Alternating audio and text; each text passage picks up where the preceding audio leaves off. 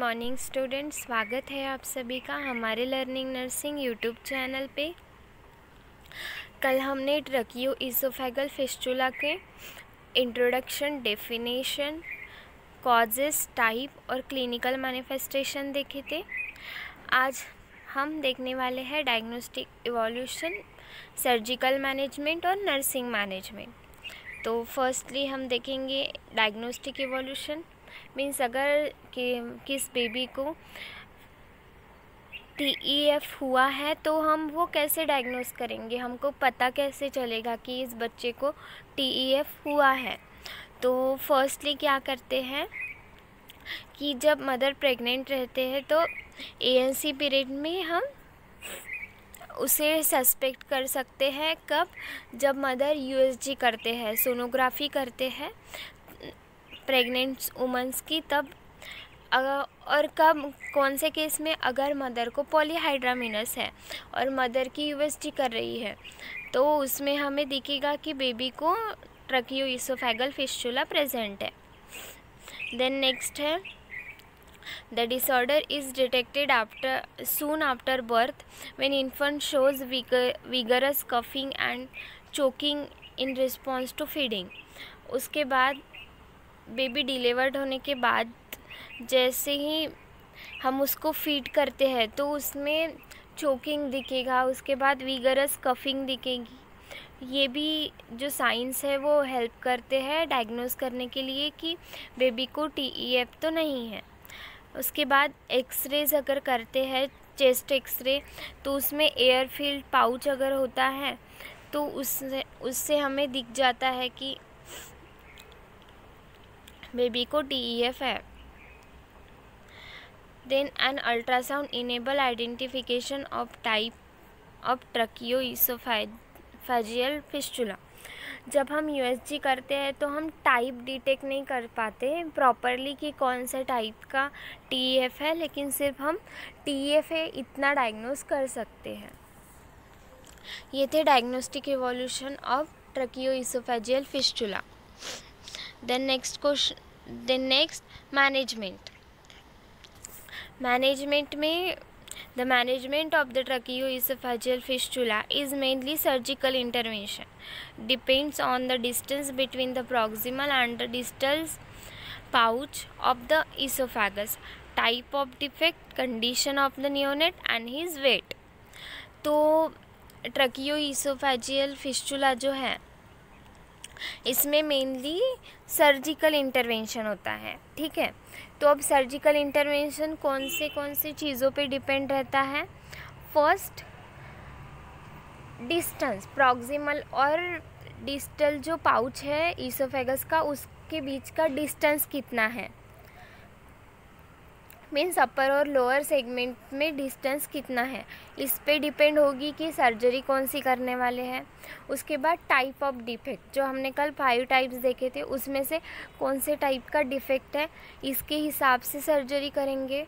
Then condition of neonate neonate की जो condition है, मीन्स वो सीरियस है, उसको ब्रीदिंग डिफ़िकल्टी है, उसके हिसाब से और उसका वेट भी इंपॉर्टेंट है। अगर बेबी का वेट बहुत कम होगा तो हम नहीं कर पाएँगे सर्जरी क्योंकि बेबी वो टॉलरेट नहीं कर पाएगा। तो सर्जिकल मैनेजमेंट मेन इंटरवेंशन है टीएफ के लिए। उसके बाद वो चार चीज़ों पे डिपेंड होती है सर्जरी अपर और लोअर सेगमेंट के बीच का डिस्टेंस उसके बाद टाइप ऑफ़ डिफेक्ट उसके बाद condition of neonate and weight of the neonate ठीक है? तो फ़र्स्ट है, इसमें स्टेजिंग सर्जरी करते हैं। स्टेजिंग सर्जरी मीन्स क्या है कि इसमें स्टेजेस में सर्जरी करेंगे। एकदम से एक ही स्ट्रोक में पूरी सर्जरी कंप्लीट नहीं करते। तो staging surgery when the distance between two oesophagus segment is large and the condition of the infant is poor a two stage procedure में भी रिक्वायर जब डिस्टेंस होता है प्रॉक्सिमल और डिस्टेंस एन डिस्टल एंड का, ये बहुत ज़्यादा होता है और इन्फंट की कंडीशन है, वो पुअर होती है। तो इस केस में हम क्या करेंगे? जो सर्जिकल प्रोसीजर है, वो टू स्टेज में करेंगे। फ़र्स्ट स्टेज में क्या करेंगे हम? Initially in first stage the tracheo oesophageal fistula is ligated and gastrostomy is done to reduce the risk of reflux and to provide the feeding also a provisional cervical oesophagotomy is done to drain out the saliva from the proximal blind oesophageal फेजियल ट्यू pouch तो इसमें क्या करेंगे? ट्रकियो oesophageal fistula है, उसे ligate करेंगे। उसके बाद गैस्ट्रोटॉमी करेंगे। गैस्ट्रोटॉमी क्या हेल्प करेगी? जो रिफ्लक्स हो रहा है, वो नहीं होने देगी और हम फीडिंग भी कर सकते हैं। Gastrotomy means directly tube place करेंगे स्टमक में। उससे हम जो कुछ मैटर है, वो रिमूव भी कर सकते हैं सिक्रेशंस और फीडिंग भी दे सकते हैं। उसके बाद ओइसोफेगोटॉमी कर सकते हैं। उससे हम जो सलाइवा है प्रॉक्सिमल ब्लाइंड लेंस से, वो रिमूव कर सकते हैं। देन नेक्स्ट ये थी स्टेज वन और स्टेज सेकेंड स्टेज में हम क्या करेंगे?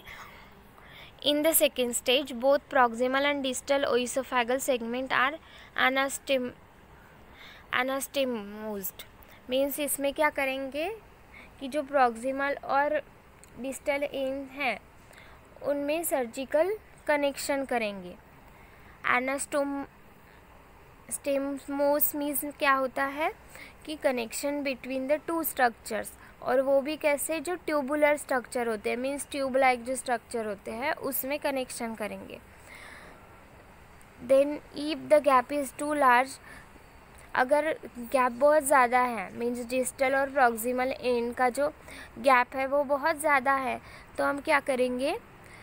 A segment of colon is use for reconstruction of the oesophagus this is done about eighteen to twenty four months of age अगर डिजिटल और प्रॉक्सिमल एंड का जो गैप है वो बहुत ज़्यादा है तो कोलन का मीन्स हमारे इंटेस्टाइन का थोड़ा सा पार्ट लेके हम उसे वहाँ प्लेस करेंगे ओइसोफेगस में जो गैप है वो फिल करेंगे by using the part of colon और ये जो रिकन्स्ट्रक्टिव सर्जरी है, ये हम कब करेंगे? जब बेबी 18 टू 28 मंथ्स का है। और after this repair oesophagotomy and gastrectomy are closed ये अगर रिपेयर हो गया, उसके बाद ओइसोफेगोटॉमी और ये थी सेकेंड स्टेज देन नेक्स्ट है हमारा नर्सिंग मैनेजमेंट तो नर्सिंग मैनेजमेंट में भी हमने टू इसमें डिवाइड किया है। प्री ऑपरेटिव नर्सिंग केयर और पोस्ट ऑपरेटिव नर्सिंग केयर तो प्री ऑपरेटिव नर्सिंग केयर में क्या करेंगे? नर्सिंग डायग्नोसिस क्या है?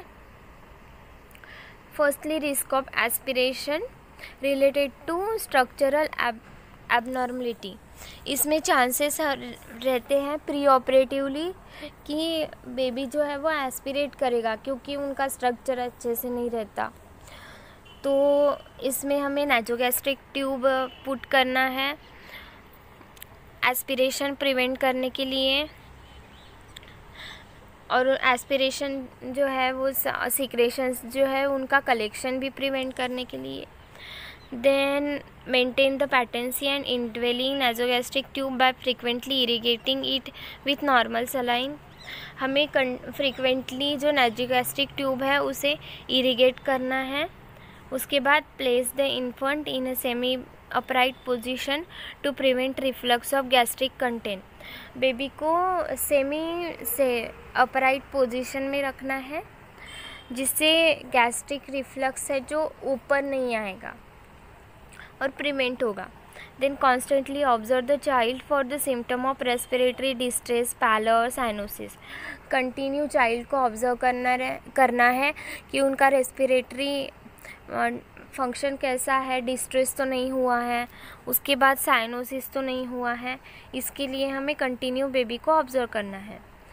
देन उनका जो पोजीशन है, वो चेंज करते रहना है फ्रीक्वेंटली जिससे हम निमोनिया प्रिवेंट कर सकते हैं।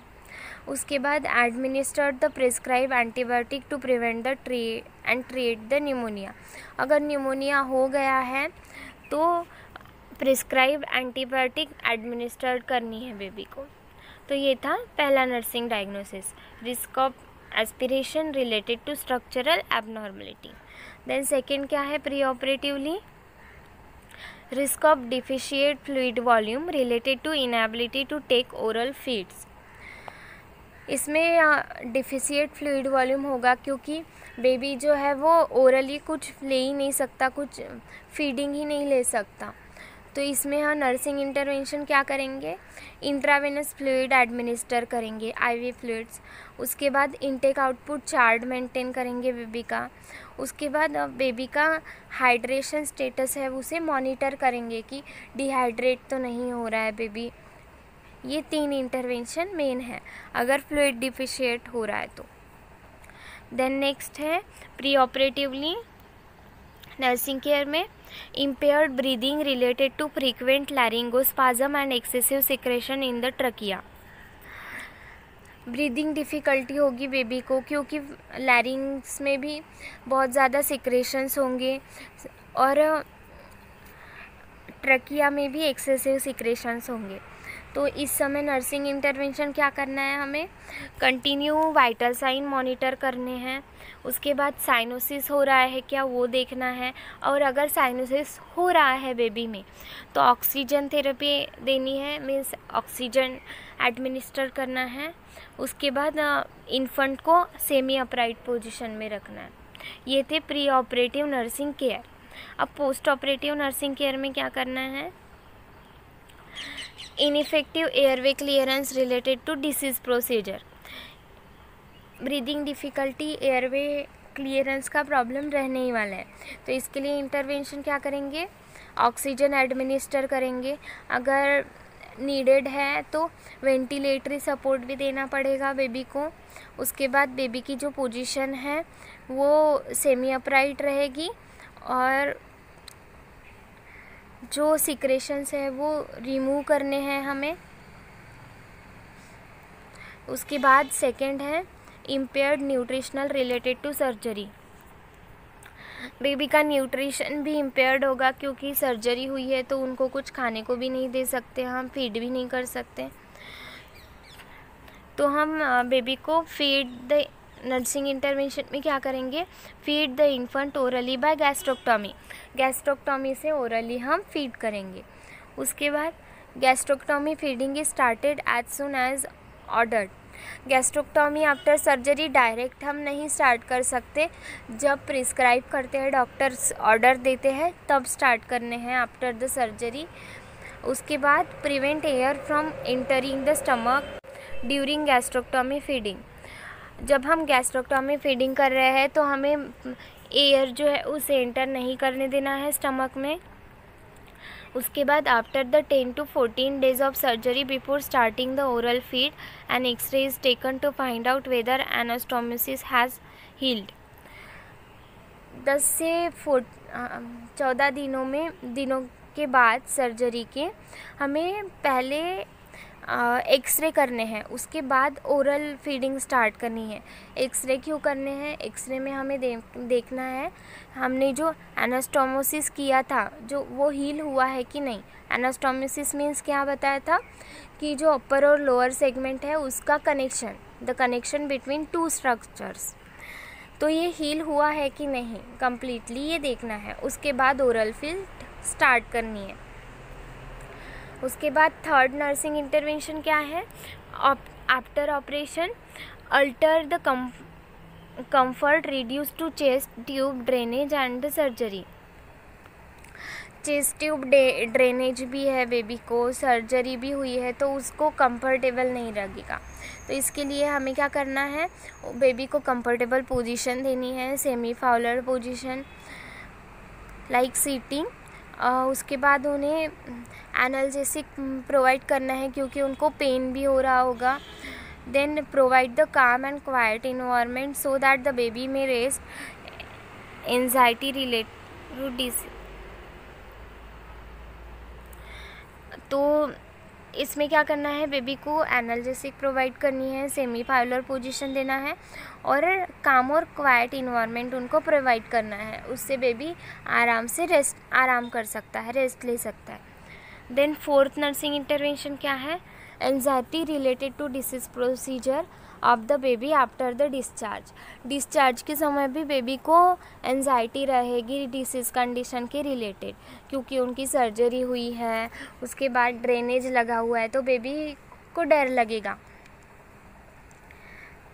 तो इसके लिए हमें पेरेंट्स को पूरा एक्सप्लेन करना है रूटीन केयर कैसे करनी है, उसके बाद डिस्चार्ज जो है उसका कै, कब निकालना है और उनको फ़ीड कैसे करना है, इसके बारे में पूरा एक्सप्लेनेशन हमको पेरेंट्स को देना पड़े। ये था पोस्ट ऑपरेसिव नर operative nursing care thank you so much यहाँ हमारा ट्रकियो इसोफेगल फिस्टूला की जो डिसीज़ कंडीशन है, ये ख़त्म होती है।